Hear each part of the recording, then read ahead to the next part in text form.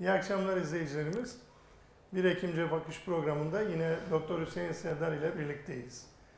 Bu akşam e, geçen hafta yaptığımız programda teşvikleri ele almıştık. E, teşvikler konusunda bize epeyce soru ve bir takım sıkıntılarınızı paylaşmış oldunuz. Bu akşam da yine bu hafta özellikle biz bu konuyu şöyle ele almak istedik. Sizden gelen görüşler üzerine. Ee, teşvikler e, son yıllarda gerçekten amacına uygun veriliyor mu? Ee, hayvancılık yapan yetiştiriciler teşvikleri ne derece bilerek e, alabiliyorlar ya da teşvikler kaynağına ulaşabiliyor mu? Hayvancılığa bu teşvikler e, ciddi can suyu olup üretime dönüyor mu? İşte bu akşam konumuz çok can alıcı bir konu ve hassas bir konu. Çünkü bir taraftan baktığımız zaman Gıda Tarım Bakanlığı bu teşviklerin çok fazla olduğunu ifade ediyor. Yani Cumhuriyet döneminde hakikaten bakıldığında rakamsal olarak çok e, fazla teşvik uygulanıyor. Ama burada e, sanırım bir aksama söz konusu ki e, bu teşvikler amacına ulaşmıyor. İşte bu akşam sizlere hayvancılıktaki bu teşviklerin üretici açısından baktığımız zaman onların can suyu mu deyip e, sözümüze başlıyoruz. Ama sizlerden de bu konuyla ilgili ciddi görüşlerinizi bize aktarmanızı istiyoruz. Telefon numaramız WhatsApp hattından olacak. E, 0 552 252 16 16 bir daha tekrar ediyorum. 0 552 252 16 16 ancak telefon değil de yazıyla bize ulaşabiliyorsunuz. Eğer bize WhatsApp hattından yazıyla soru ve görüşlerinizi iletirseniz biz de bütün içtenliğimizde bu soru ve görüşlerinizi paylaşıyor olacağız. Evet Hüseyin Bey, bu hafta yine beraberiz. Ee, konumuz çok önemli bir konu. Ee, hayvancılar baktığımız zaman, e, kamuoyuna da baktığımız zaman e, ciddi derecede gerçekten e, üretim noktasında problemler yaşanıyor. Hatta biz programımızın ikinci bölümünde bir de üretilen ürünlerin aslında e, pazarlama sorununu ya da pazarlama sorununa ne kadar önem veriliyor bunu ele alacağız. Çünkü sizin bu hafta bir yazınız vardı bir ulusal gazetede. E, akıllı evler ama akıllı tarım ya da hayvancılık konusunu da bir nebze bir paragraf olarak ele alacağız. Buyurun. Ben e, sayın izleyicilerimize hayırlı akşamlar diliyorum. E, şükür yine bir araya geldik. Bir hafta geçti. Aslında konuştuğumuz konu e, Türkiye'nin uzun yıllardan beri e, hayvancılık, tarım, ziraatte e, sürdürdüğü politikaların bir noktada sonucunu konuşuyoruz. Bu sonuçları üzerinden yorumlar yapıyoruz. Bu yorumları yaparken de Tabii bizim hedefimizde insanın sağlığı ve mutluluğu var. Hayvancılıkla uğraşan, çiftçilikle uğraşan vatandaşlarımızın yaşam kaliteleri ve nihayet ürettikleri ürünleri pazara indirdiği zaman bunları tüketen, bunlarla beslenen insanlarımızın tümünün sağlığıyla ilgili. Bizim yaklaşım biçimimiz bu. Buradan baktığınızda insanların toplumun tüketmiş olduğu e, gerek bitkisel gerek e, hayvansal ürünler var. Bunlar doğal olduğu sürece, uygun yetiştirildiği sürece, uygun e, ürün elde edildiği sürece ve satışından pazarlamasına, sofraya gelinceye kadar düzgün, e, usulüne uygun yöntemler kullanıldığında da beslenme sağlıklı oluyor. Peki bunları ne sağlayacak? Hani işte bir teşvik yeterli oluyor mu? Amacına ulaşıyor mu? Bizim ülkemizde Cumhuriyet kurulduğundan bugüne kadar e, hayvancılık alanında, ziraat alanında e, planlı kalkınma ölçeklerinde şu anda bu 5 yılda bir yapılan planlı kalkınma, programlı kalkınma dönemi geçildi artık da. Serbest piyasayla belirleniyor bunlar. Ülkemizin ve bölgemizin ihtiyacı oranında planlanan ürünlere teşvikler veriliyordu. E son yıllarda da veriliyor bu teşvik. E, hatta bu sene de çok ciddi teşviklerin verileceği ifade ediliyor.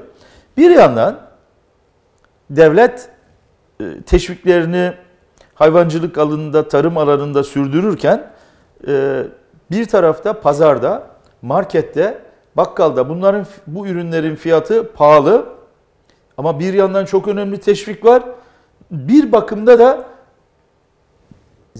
köylü yani ziraat yapan, çiftçilikle geçinen, hayvancılıkla geçinen insandan mutsuz. Bir hayat pahalılığından, ürünlerin pahalılığından e, yakınan insanlarımız var. Yetiştiriciler de, üreticiler de yakınıyor. Tüketiciler de bu ürünü kullanan insanlar da bu ürünlerin pahalı olduğundan yakılıyor. İşte zaman zaman da e, hükümet çeşitli bakanlıklar marifetiyle bu sıkıntıları aza indirebilmek için ithalat yapıyor. İthalattan daha ucuz gıda e, ülkemize getirilerek e, bu sıkıntıları e, en aza indirmeye çalışıyor ama bir yandan da teşvik veriyor. Şimdi bu konu, bu teşvikler eğer amacına uygun kullanılmış olsa biz dışarıdan hayvan ithalatını bu ölçüde yapmayız. Yani toplum şu anda hayvan ithalatı konuşuyor. Toplum şu anda hazır kıyma ve et ithalatını konuşuyor. E, nohuttan bulguruna, mercimeğinden pirincine, pamukundan mısırına, otundan samanına e, çok sayıda kalemi, ürünü biz ithal ediyoruz. Peki niye ithal ediyoruz?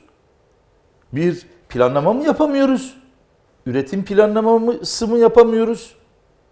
Yoksa üretim esnasında girdi dediğimiz yani mazot,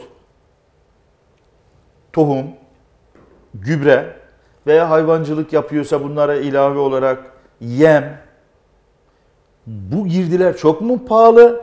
Bu yapılan teşvikler ki bakanlar, e, bürokratlar açıklama yapıyor. Yani siyasetçiler açıklama yapıyor. Biz şu kadar e, 10 milyar dolar, 10 milyar doların üzerinde teşvik vereceğiz diye.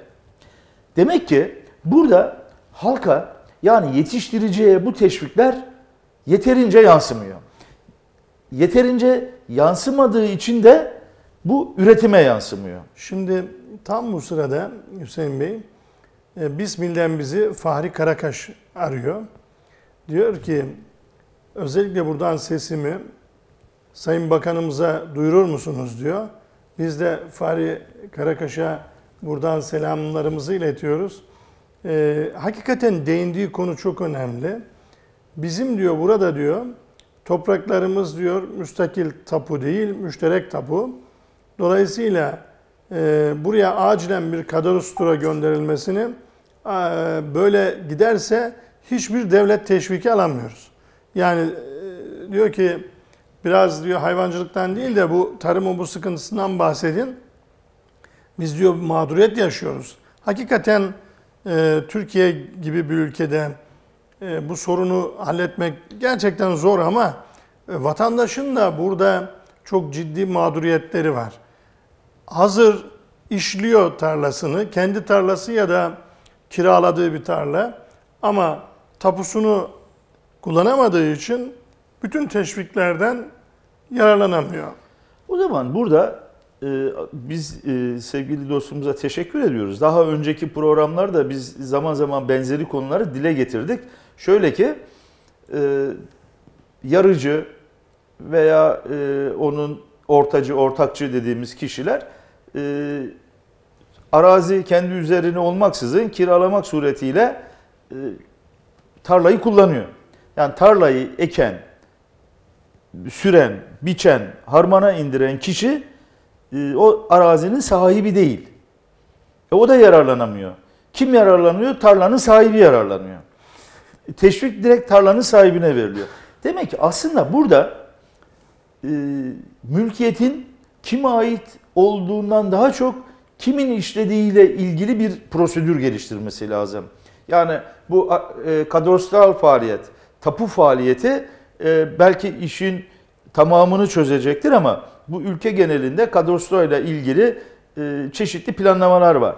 Ancak e, yani yetişmeyebilir. Acil kısa dönemde bu e, teşvikler sayın izleyicimizin dediği ölçüde yetişmeyebilir ama ya bu araziyi kullanan kişi ister beyan, ister tespit usulüyle bu anlaşılabilir. Artık e, uydudan toplu iğnenin başı kadar büyüklükteki yeri ölçen e, devlet, sistem bunu mu anlamamayacak? Şimdi işte burada bu Yani- bis, Bismil'e, Bismil'in sorununu çözmemiz lazım.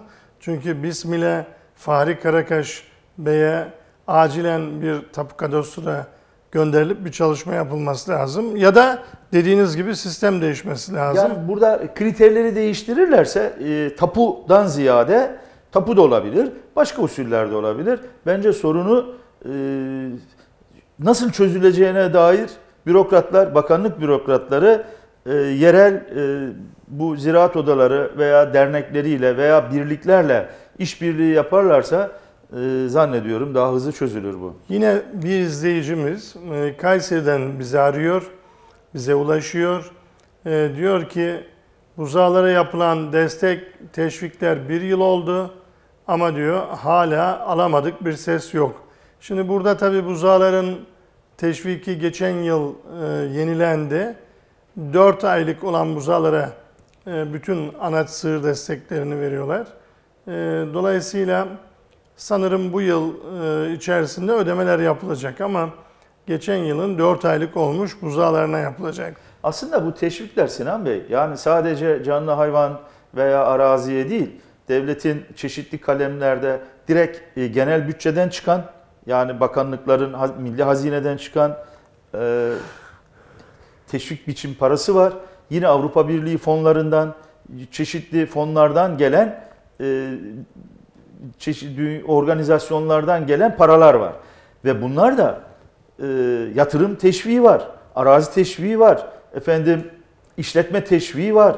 Yani kapasiteyi genişletmek, büyütmek için teşvikler var. Sadece e, toprağın büyüklüğüne bağlı olarak verilen teşviklerin dışında çok daha geniş ve insanları rahatlatabilecek işte adam ahırına teşvik yap, e, yatırım yapıyorsa bununla ilgili teşvikler var. Bence burada e, başka bir bir eksiğimiz var bizim. Yani Türkiye'yi tanıyoruz. E, kırsalını da biliyoruz, şehrini de biliyoruz. Bakanlıkların yapısı da birbirine benziyor. Sağlık Bakanlığı da aynı, Tarım Bakanlığı da ayrı. Hepsinin bir mantığı, bir felsefesi var. Şeye inemiyoruz. Bu işleri, sorunları hızlı çözme becerisini gösteremiyoruz. Yani bir yıldan beri teşvik almamak ne demek? Bu ülkenin parası mı yok? Niye teşvik alamaz? Yani 4 aydan sonra mı bu normalde belirlenmiş prosedürü? Buzak'ta 4 aydan sonra diye biliyorum. Sinan Bey daha iyisini biliyor. Yani bu veya arıcılık veya e, küçük baş, büyük baş, işte e, özellikle damızlık hayvanlara, mandasına, keçisine, koyununa, büyükbaş, küçükbaş hepsine teşvik var. Ve işletme teşviği de var. E, bunların verilmemesi demek ne demek? E, ayrıca bu sahaya inerlerse bakanlığın e, ilçe teşkilatları, il teşkilatları e, bu üretici birlikleriyle daha hızlı, daha entegre hatta direkt yerinde köylüyle, çiftçiyle bu çalışmaları yapabilirse eminim e, bu verilen rakamlar amacına çok daha hizmet eder. E, teşviğin amacı teşviğin amacı şu. Bu üretimi yapan insanları maddi olarak rahatlatmak. Daha kaliteli ürün elde etmelerini sağlamak. Yani yemini, gübresini, e, enerjisini, kullandığı mazotu, girdileri daha rahatlıkla dönüştürebilmesini sağlamak. Eğer verilen teşvik buna hizmet etmiyorsa bir anlamı yok. Şimdi burada tabii e, üreticilerimize, hayvancılıkla uğraşan üreticilerimize şunu söyleyelim. E, 2018 teşvikleri, Gıda Tarım Bakanlığı teşvikleri resmi gazetede yayınlandı. Ama oradan e, tabii ilgili arkadaşlar bakabilirler.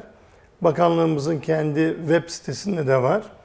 Ama ben şöyle birkaç küçük hatırlatma yapayım. Küçük hayvancılık 2018'de 30 bin e, lira hibe teşviki olacak çiftçilere. E, bu devlet bu ihtiyaç kredisi şeklinde verecek. Yine TKDK'nın 2018'de geri ödemesiz hayvan kredisi küçükbaş hayvanlarda özellikle koyun keçi ve küçükbaş hayvan alımında destekleri var. Yine Ziraat Bankası'nın 2 yıl ödemesiz düşük faizli kredileri var. Yine çoban e, yani tırnak içinde söylüyorum sürü yönetici desteği yani çoban desteği var. Yine büyük hayvanların e, bazı sarf malzemelerine yönelik bakan şey bankaların teşvikleri var. Yine e, bu bu sene salma tavuklarla ilgili, arılarla ilgili ciddi teşvikler var.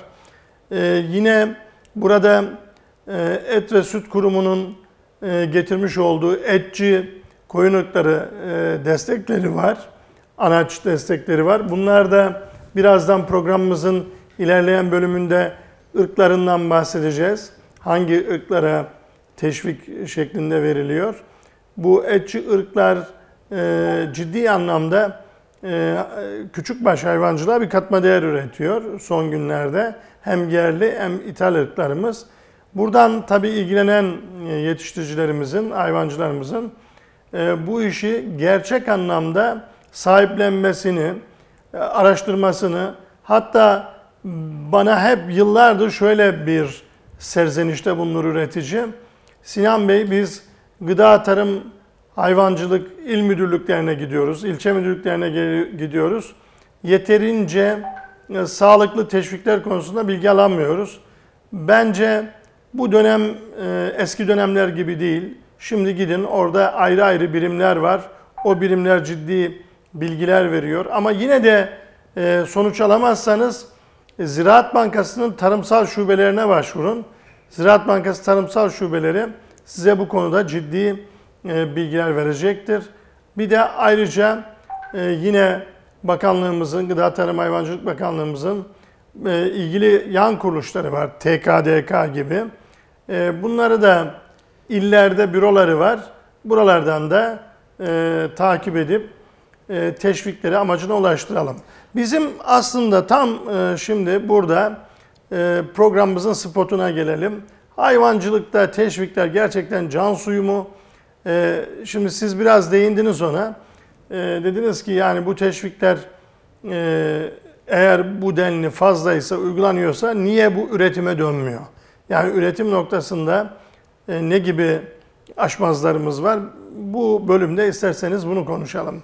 Tabii bu konunun gerçekten e, Türkiye'de gıda, gıda güvenliği, e, pazara inen hayvansal veya e, tarıma dayalı gıdanın sorunlarının odak noktasında bu teşvik mekanizması var. E, değerli izleyicilerimiz, aslında teşvikler ve destekler sadece bizim ülkemize has bir uygulama değil. Dünyanın tüm devletleri e, tarımı, ziraati, hayvancılığı stratejik bir alan olarak görür. Yani eğer insanlar tarım yapamıyorlarsa orada bir güvenlik sorunu vardır. O ülkede ciddi sorun vardır. Ülkelerin hemen tamamı e, tarımını geliştirmek için tarımla uğraşan insanları işletmeleri geliştirebilmek için destekler ve teşvikler veriyor. Bu Hollanda'da da var, Kanada'da da var, Amerika'da da var, Arjantin'de de var, Asya ülkelerinde de var, Avrupa ülkelerinde de var, Afrika'da da var. Dünyanın her tarafında ziraatle uğraşan insanlar biraz dezavantajlı insanlardır. Çünkü ticaret yapmasını, parayı dönüştürmesini, parayı kullanmasını çok iyi yönetemeyebilirler. O tarımdan anlar, topraktan anlar, havanın durumundan anlar, yağıştan anlar, ürünü nasıl ekeceğini, nasıl dikeceğini, nasıl toplayacağını, nasıl işleyeceğini bunu gayet iyi anlar. Ama iş paraya, ticarete geldiği zaman e, bizim üreticimiz, çiftçimiz sıkıntı yaşar. Bilirsiniz yani zeytinciler e, böyle zeytin hasadı olduğu zaman e, bazı nasıl şöyle söyleyelim e, kurnaz tüccar kisvesi altındaki insanlar köylüyü dolandırırlar. Çok sayıda hemen e, Bursa'nın civarındaki köylerde e, malını, emeğini e, böyle e, insanlara kaptırmamış insanlar yok gibidir. Yani çok sayıda sıkıntı olur. Gelir 3 kuruş daha fazla verir ve insanlar e, kolayca kandırılabilir, tuzağa düşürülebilir. Çiftçi ticareti çok iyi bilmez. Çok iyi mal üretir, eker, diç, alnının terini tarlasına serer ama karşılığını almakta zorlanır. Şimdi burada teşvikler sadece bizim ülkemize özgü değil. Bir. İki, teşviklerin mutlaka bir geri dönüşü vardır. İnsanlar daha kolay mal, ürün yetiştirsin ve halk, o ülkenin halkı daha sağlıklı beslensin. Fazlası varsa satalım, ülkeye gelir elde edelim. Felsefesi budur. Ya da destekleyelim, ticari alanda bir düzenleme olsun. Şimdi bizim ülkemiz evet para harcıyor, ciddi paralar harcadığını biliyoruz. Ama ne yazık ki piyasaya indiğimiz zaman, market bakkala, pazara indiğimiz zaman bunun çok da e, üretime yansımadığını, insanların, çiftçilerin, hayvan yetiştiricilerin hayatına tesir etmediğini görüyoruz. Mutlu olan yok. Yani biz teşvik aldık, devletten teşvik aldık, destek gördük. Teşekkür ederiz. Kısmen söyleniyor, parayı ilk eline aldığında söyleniyor. Onun dışında birkaç ay geçtikten sonra yine iş başa dönüyor. Çünkü gerçekten girdi maliyetleri oldukça fazla. O zaman e, ama bize gelen e, bilgiler içerisinde de sıklıkla şunu görüyoruz. Ya biz farkında değiliz diyor. Biz öğrendiğimizde teşvikler kapanmış oluyor, bitmiş oluyor. Bunu da diyorlar e, vatandaşlarımız. Şimdi Türkiye'nin en köklü bakanlıkları iki bakanlığından e, biri Tarım Bakanlığı'dır. E, En önemli, daha köklüsü Sağlık Bakanlığı'dır. Yani çok iyi bir bürokrasi yapılanması vardır. Ama sahada sanki e, Tarım Bakanlığı'nın e, taşra teşkilatları dediğimiz ilçe teşkilatları köylüyle, çiftçiyle daha yakından iletişim kuracak, diyalog kuracak olan e, birimler sanki e, biraz yavaş gidiyorlar. Yani bu bilgileri 3 ay öncesinden verilecek olan teşvikleri 3 ay öncesinden köy kahvesinde, köydeki toplantı odalarında, okulda hafta sonu bunları köylüleri, çiftçileri toplayıp gelecek olan kredi şudur, destek budur, e, geri e, dönüşsüz teşvik budur veya yüzde elli geri dönüşü olan hibeler şunlardır diye halkı bu işle uğraşacak vatandaşlarımızı bilgilendirseler e, belki o gönderilen paralar yerini bulacak. Gerçekten ihtiyacı olan, hevesli olan, bunu da yönetebilecek insanlara bu teşvikler gidecektir. Zannediyorum burada bir bir organizasyon sıkıntımız var. Yeterince zamanında haber alamıyor. Bir de şunu söylüyor vatandaşlarımız. Ya biz işte küçük çiftçiyiz. E, aile tipi işletmemiz var. Birkaç e, sığırımız, büyükbaşımız var. Az sayıda da 20-30 da koyunumuz var. Bizi bize bu teşvik gelmiyor. Daha çok e, büyük sürüleri olan, büyük e, ahırları olan, e, daha çok büyükbaş hayvan besleyen insanlara gidiyor diye de zaman zaman bir e, intizar veya böyle bir hayvancılık bilgilen- dışında, hayvancılık dışında uğraşan ama son yıllarda merak edip hayvancılığa girmiş e, büyük çaptaki sanayici ya da diğer iş adamlarını kastediyorlar. Ama burada özellikle altını çizelim. E, Adıyaman Besni'den bize e, ulaşan bir izleyicimiz var. Adıyaman'ın Hacı Halil köyünden e, Muhittin Tercan. Muhittin Tercan da yine aynı e, konuyla ilgili bize ulaşıyor. Özellikle arazilerimiz e, 1980'den beri tapu bekliyoruz. 100 dönüme yakın tarla işliyorum ama devletin hiçbir teşvikinden yararlanamıyorum diyor. Adıyaman Hacı Halil Köyü. Özellikle buradan biz de Muhittin Tercan'a selam söylüyoruz. Ee, burada Besni'de yani demek ki Adıyaman'da ciddi bir tapu problemi var.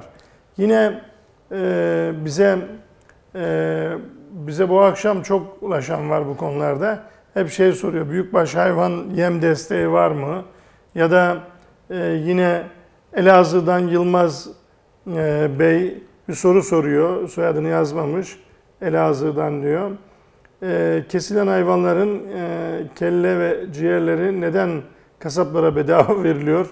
Bunlar teşvik amaçlı hayvanların sahiplerine vermek doğru olmaz mı diyor. Hakikaten bazen şimdi Yılmaz Bey'e Elazığ'dan biz de e, Elazığ'a selamlarımızı iletiyoruz buradan. Ben Yılmaz Bey'e katılıyorum. Özellikle deri, e, sakatat, e, kestiren kasaplara gidiyor. Hatta bununla da kalmıyor. E, eğer Yılmaz Bey e, bazı mezbalarda, her mezbayı söylemiyorum ama bazı mezbalarda e, hayvanın e, böbrek bölümünde ya da iç kısımlarında bir takım etleri tırpanlanıyor. Yine burada ilginç bir sorumuz var. Şey bir katkı yapıyor bir izleyicimiz. Sanırım Bursa'dan Mehmet Yıldız diyor ki bir hesap yapıyor. Çok önemli bir hesap. Bunu söylemeden geçmeyeyim. E, çünkü diyor ki burada e, şeyde milli gelirin bir yüzde veriyor Mehmet Bey. Milli gelirin e, oranını yapıyor. Ben e, aynen yazdığını okuyayım. Mehmet Yıldız Bursa'dan arıyor. E, diyor ki Tarım Kanunu'nun 21. maddesi tabi bu bakmadığımız için e, doğrulayamıyoruz ama 21. maddesi diyor devlet her yıl milli gelirin en az yüzde birini e, çiftçiye destek verir diyor. Yani üretici e, yani üreticiye vermesi gereken destek bu yıl 24 milyar TL. Ama e, bakanlığımız diyor 11 milyar açıkladı. Daha çok gerisinde diyor. Tabii bu da Mehmet Bey'in görüşü. E, doğrulayamıyoruz şu an. Bakanlığın açıkladığı rakamı ben biraz önce de söyledim. İşte e, 10-11 milyar civarında bir rakamdı. Onu Sayın Bakan ifade etmişti ama aslında bu toprak konusu e, uzun yıllar Türkiye'nin gündemini meşgul etmiş bir konu. E, 1970'lerin başında toprak reformu çok revaçtaydı.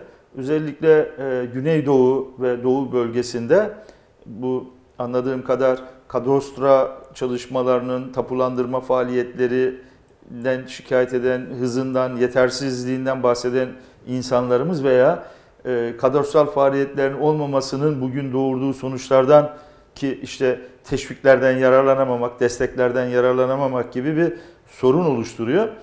E, 1970'li yıllarda bu e, Toprak Reformu Genel Müdürlüğü de vardı. E, topraksız köylüye toprak oluşturmak, işte e, parçalanmış toprakların toparlanması, e, toprağın kamu elinde bulunan, hazinenin elinde bulunan toprağın işlenmek e, üzere dağıtılması gibi birçok proje vardı ama son yıllarda herhalde bunlar durdu. Toprak reformu konusu aslında Türkiye'nin tarımı, hayvancılığının köklü bir politikaya ihtiyacı var. Köklü bir vizyon yenilemesine, değişikliğine ihtiyacı var. Aksi takdirde biz e, çok ciddi paraları teşvik adı altında, destek adı altında kullandıracağız. Ama korkarım ki bu e, geri dönüşünde beklenen sonuçları elde etmeyecek. Üzüntümüz odur. Yani para dağıtılıyor, çiftçinin eline geçiyor, geçmiyor, yetiştiricinin eline yeteri kadar geçmiyor veya onların derdine e, deva olmuyor. Dolayısıyla bir eksik var demek ki burada. Yani yukarıdan çok da fazla e, şu kadar verdim demekle değil. E, ama burada bir şey dikkatimizi çekiyor bizim. Biz e, birkaç aydan beri, birkaç haftadan beri Sinan Bey'le bu programları yapıyoruz. Türkiye'nin yaklaşık 3-4 ayından beri de özellikle kırmızı et, et ithalatı, et fiyatları falan konuşuluyor. Yani bu ülkede son 3-4 aydan beri saman ithalatı, e, tarım gıdalar, e, tarım ürünlerinin ithalatı bunlar tartışılıyor. Halk bunları konuşuyor. Birçok evde de konuşuluyor. Hatta esprileri yapılıyor. Bir yemek yapılırsa yemeklerimizin tamamı uluslararası olmuş. Soğan başka bir ülkeden, fasulye başka bir ülkeden, e, domates başka bir ülkeden, salça başka bir ülkeden diye böyle espriler de üretiliyor. O zaman bu tarım politikası üzerinde daha köklü bir bakışımız gerekiyor. Bunu yapmadığımız sürece e, bu hep devam edecek bu tartışmalar. Ben isterseniz e, çok güzel bir konuya temas ettiniz. Tam burada e, arkadaşlarımızın yine soruları var. Kısa kısa bunlara bahsedeyim. Hayırlı akşamlar diyor. Ben Düzce'den Emine Kıbrıs. Benim aile tipi bir besi işletmem var. Ama diyor geçenlerde e, Tarım Bakanımız ŞAP, LSD ve Brusella aşısına programlı aşılara ücret almayacağız denildi. Ama 3 TL para veriyoruz diyor. Ee, burada diyor kime inanacağız? Ee, tabii bu uygulamaya daha geçmedi izleyicimize söyleyelim. Ee, bu nasıl geçecek onu da bilmiyoruz. Ama şöyle iyi akşamlar diyor Çorum Aracı'dan Emrah. Ben bizim tarlamızda babamın e, dedesi üzerine ve e, dedim dedem vefat etti. E, ikisi de hayatta değil babam da dedem de. Tarla müşterek olduğu için hiçbir teşvikten yararlanamıyoruz. Biz ekip biçtiğimiz bu köyde e, bundan sonra da durmamızın bir anlamı yok diyor izleyicimiz. Yine burada çok önemli bir şey var. E, izleyicilerimiz yine e, bu araziler üzerinde çok soru geliyor bize. Arazilerle ilgili. Hatta bir izleyicimiz var bizi e, çok önemli bir e, durumunun olduğunu söylüyor. Bunu hemen bulalım. E, şimdi izleyicimiz diyor ki benim diyor arazim diyor e, çok güzel diyor. E, 120 tane simental yapıyorum diyor. Bu çok önemli. Bu 120 tane simental yapıyorum ama diyor bu simental hayvanlarımı yaptığım yer e, özellikle bu Murat Aslan arıyor bizi. E, diyor ki Murat Aslan e, piyasaya da çok borcum var. E, 22 dönümlük bir arazi üzerinde hayvancılık yapıyorum ama diyor yine tapum yok. Tapum olmadığı için bankalara gittim başvurdum kredi alamıyorum. Bu konuda e, ciddi bir mağduriyetim söz konusu. E, Kırklar elinden arıyor. E, bu özellikle bu durumda olan bir hayli izleyicimiz var. Bizi 20-30 tane şu an bir anda bir çırpıda bu arazi ve tapulaşma hisselili oran üzerinde siz güzel bir şey söylediniz. Ee, aslında bunu tapuyla yapamıyorsak ki görüyoruz 1980'den beri diyor. Tapuyla yapamıyorsak bunu Gıda Tarım Bakanlığı'na iş düşüyor. Gerçek hayvancıyı bugün e, mağdur etmememiz lazım. Biz programımızın başında da onu söyledik. Yani eğer bu verilen krediler amacına uygun verilirse gerçekten hayvan sahibine, hayvancılık işletmelerine, hayvancılıkla e, gerçekten büyümeye çalışan, üretmeye çalışan işletmelere verilirse sanırım ürün problemimiz de olmayacak. Türkiye ne ithal et getirecek ne de e, ciddi anlamda e, hayvancılıkta bir problem olacak diye düşünüyorum. Yani biz şimdi tabii Türkiye'nin bu konuda ciddi deneyimleri var. Yani e, dağıttığı destek ve teşvikleri yine burada arazi kiralanması veya sözleşmeler üzerinden de yaptı, tapular üzerinden de yaptı. E, Türkiye'nin var olan e, tarım arazilerin neredeyse iki katına yakın araziye teşvik ödendiği bir senede e, yani ondan mevcut araziden daha fazla arazi beyanı yapılmış onun üzerine teşvik. Yani devlet şimdi bazen vatandaşına da güvenmiyor. Bazen güvenmiyor. E, Çünkü bu istatistikler e, geçmiş yılların istatistikleri mevcut tarım arazisinden daha fazla, çok daha fazla araziye destek ödenmiş. Ama bunu sadece vatandaşın beyanı ve iyi niyetine de bırakmamak lazım. O zaman yine bizim bakanlık bakanlığımızın taşra teşkilatları ki e, bu özellikle taşra teşkilatlarımız yani ilçe teşkilatları, il teşkilatları çok deneyimli e, personellerden meydana geliyor, devlet memurlarından meydana geliyor. Yine e, meslek odalarıyla yani e, ziraat odalarıyla, e, tarım dernekleriyle ne, ne varsa birlikler bunlarla beraber e, bir e, tespit metoduna girmesi lazım. Demek ki kriterlerimizi biraz daha güncellememiz lazım. 10 sene 15 sene öncesinin tespit mekanizmalarıyla olmuyor. Bu kadar sorunlar taşarak geliyorsa yeni kriterler ortaya koymak lazım. Artık bilginin, teknolojinin e, imkanlarından yararlanmak lazım. Artık dijital teknoloji, e, uydu teknolojisi e, bunları mümkün hale getiriyor. Teminatlar, e, ticaret ve ekonominin de bir takım kuralları var. E, onları kullanabilir pekala da devlet. Ya bizim bu anlamda bir sıkıntısı olacağını düşünmüyorum ama yeter ki yapmak istesinler. Şimdi yine bir izleyicimiz güzel bir soru sordu burada. Onun da sorusuna cevap verelim. Tarım Kredi Kooperatifine üye olmak, e, üyeliği için benden diyor ipotek istiyorlar. Yasal mıdır diyor. E, Tokat Gazi, Osman Paşa Köyü. Şimdi burada Tarım Kredi Kooperatifi tabii bir özel bir kuruluş gibi düşünmek lazım. Tarım Kredi Kooperatifi bir takım ürünleri üyelerine vadeli veriyor. Bir yıl sonra hasat döneminde alıyor. Onun için e, istediği hipotek uygundur. E, hiçbir e, kanuni bir sıkıntısı yok. E, hipotek vermezseniz e, üye olabilirsiniz ama e, oranın imkanlarından yararlanamazsınız. Yine Kahramanmaraş'tan bir izleyicimiz yazıyor. Büyükbaş alımı, hayvan alımı için bu 2018'de hem küçükbaş hem büyükbaş hayvan alımı için var ama büyükbaş hayvan alımlarında e, hibe destekleri çok yüksek tutulmuş. Özellikle beside 500 hayvan üzeri tutulmuş.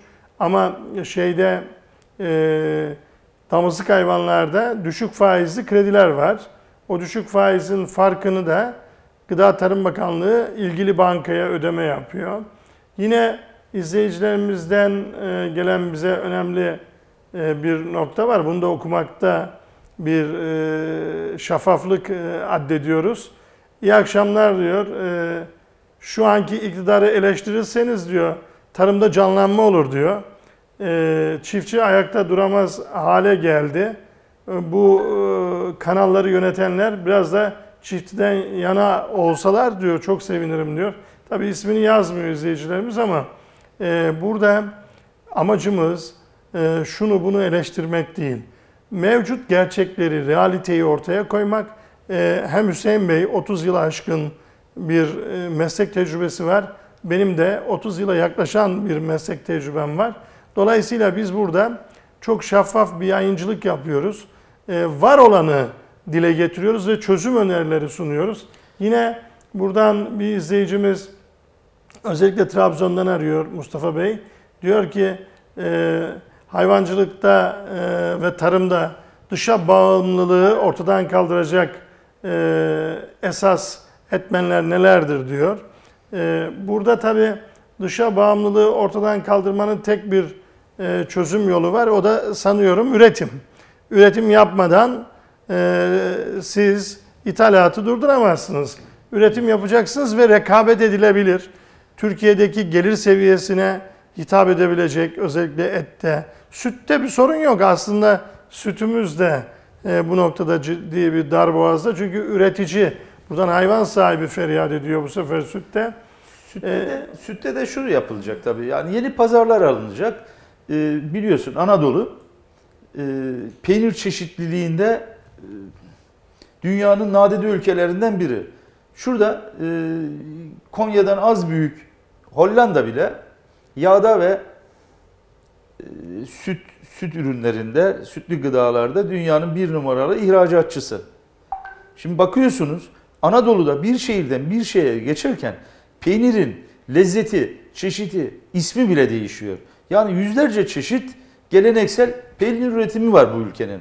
Ama biz bunları markalaştıramıyoruz. Ama sütümüzü e, sadece süt olarak değil, e, benzeri işte peynirinden, süt tozundan, yoğurtundan başka başka ürünlerle yapıp e, ihracatın yollarını aramıyoruz. Sütümüz fazla. E ne olacak fazla olursa? E, bunu satabilmek için, bunu tüketebilmek için yeni çareler alacak. Kim arayacak? Çiftçilerin bir araya geldikleri kooperatifler, birlikler, e, daha üst yapılar ve devlet. Devlet insanların önüne düşerek öncülük edecek. Bu bu kadar basit.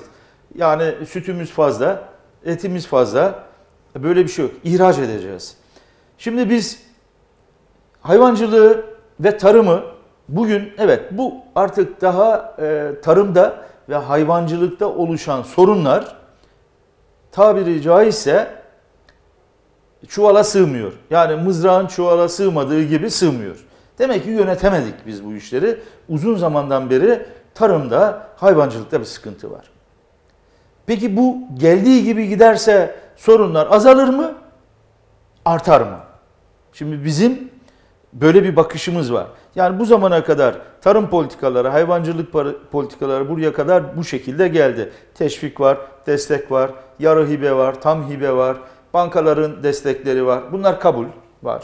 Kullanılıyor, kullanılamıyor. Ama bu geldiği gibi bu düzen böyle devam ettiği sürece bu sıkıntılar azalır mı? Herhalde azalmaz, artar. O zaman yeni bir bakış açısına ihtiyaç var. Mesela e, hayvancılık.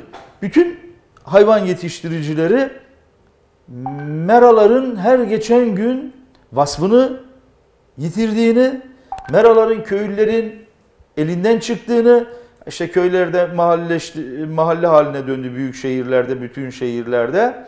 Belediyeler daha kolay tasarruf yapıp karakterini değiştirebiliyor. Ee, Tarım toprakları amacı dışına çıkıyor.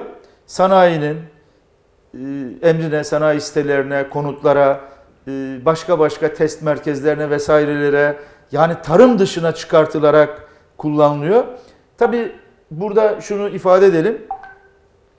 E, Tarım toprağı olarak görünüp aslında tarım yap hayvancılık yapılamayan araziler var. Bunlara e, marjinal arazi deniyor. Bu bölgelerde de e, güneş enerji istasyonları kuruluyor. Güneş panellerinden e, solar enerji e, işletmeleri oluşturuyor. Bu da bir seçenek tabii. Eğer tarım dışında kullanılamıyorsa e, güneşin veya gün ışığından yararlanarak veya rüzgardan yanarak enerji oluşturmak bu bir seçenektir. Doğru bir seçenektir.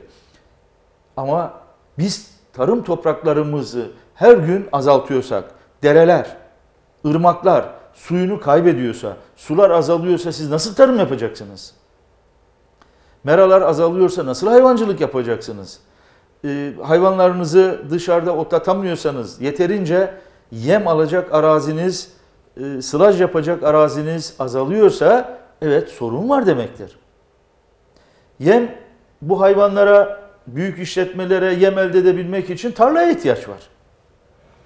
Yani ucuz yem elde edebilmek için tarlaya ihtiyaç var. Tabii. Ve verimli, çeşitliliği olan e, gıda bitkilere de ihtiyaç var. Onlar e, yağlı Şimdi tohumlar. aslında burada bir iyi bir e, milli bir planlama lazım. Yani bu ülke bizim. Bu ülkede hani bazen diyoruz ya işte e, un var, şeker var, yağ var Evet. ama helva yapmak lazım. Burada aslında ülkemizde haksızlık etmeyelim. Bu konuda iyi ustalar da var ama sanırım bir e, koordinasyonsuzluk, bir akortsuzluk var yani ciddi bir şekilde ama ben yine de e, burada bir izleyicimizin çok e, içler acısı bir resim gönderiyor. Çok modern bir tesis. Bize WhatsApp'tan gönderiyor. Bunu okumak istiyorum. Yaşar Daşkara diyor. E, Aksaray Eşmekaya kasabasından Yaşar Daşkara diyor ki sayın yetkili diyor 2016 yılında diyor aldığımız teşvikler sonucunda çok modern resimlerini bize attı gösteremiyorum. Çok modern bir tesis kuruyor. Ama diyor e, bu tesisi kurduktan sonra diyor borca girdik diyor. Ama içerisine hayvan koyamıyoruz. Gayrimenkul tarlalarımız var satamıyoruz. Dolayısıyla ciddi bir mağduriyetimiz söz konusu diyor. Acil buradan yetkililerden yardım istiyorum. Ben bir daha tekrar ediyorum. Yaşar Daşkara Eşmekaya kasabasından Aksaray'dan arıyor bize. Ee, Yaşar Bey'e e, Allah'tan kolaylıklar diliyoruz. Buradan yetkililere sesleniyoruz. Yaşar Bey'in çok modern bir tesisi var. Resimleri var. 7-8 tane resim gönderdi. Çok güzel. Bu özellikle Yaşar Daşkara'ya e, yardım e, bekliyor. Çünkü içerisine hayvan koyamıyor. Şimdi e, böyle de garip şeyler var e, Hüseyin Bey ciddi derecede. Yani bilmediğiniz işe soyunmayacaksınız. Bu bir tanesi. Ee, dostumuza Allah yardım etsin. Ee, işi bir hayli zor. Kısa sürede de toparlamasını temenni ediyorum. Ee, burada biz çok bu toprakların insanları çok hızlı karar veren insanlar. Ateşli insanlarız biz. Böyle aklımıza yatan bir şeyi hemen kısa bir süre sonra e, oluşturmaya çalışıyoruz. Bu tabii bahsettiği arkadaşımızın bahsettiği herhalde çok büyük e, paralara mal olmuş, çok büyük paralara mal olmuş bir işletme. Şimdi bunların artık profesyonel olarak e, feasible olması, yani fizibilitesi, incelemesini yapılması, işletmenin gerekli olan, işletme için gerekli olan sermayeyi ve e, yatırım için gerekli olan sermayeyi mutlaka bir de ve 6 aylık, bir senelik bir parayı bulmak lazım. E, ikinci bölümde herhalde e, bir mola vereceğiz biz anladığım kadar. Bu konuya ikinci bölümde devam edelim isterseniz. E, Tabii hızlı geçiyor program gerçekten izleyicilerimiz de sağ olsun e, gerçekten İşaretler gelince işaretlere uymak zorundayız. evet çok teşekkür ediyorum. Evet izleyicilerimiz kısa bir reklam aramız var. İkinci bölümde yine buluşmak üzere. Hoşçakalın.